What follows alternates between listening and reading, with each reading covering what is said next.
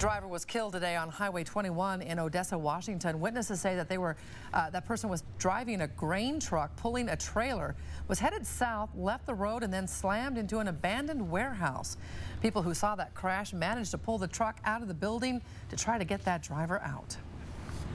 So the vehicle collided uh, with the corner of the uh, building and it was actually uh, inside the building. Uh, they were unable to get to the driver so uh, people that were working in the yard here had construction equipment uh, capable of pulling the vehicle and the trailer out to get access to the driver. Authorities have not released the identity of the driver just yet. A small memorial has been growing at the scene.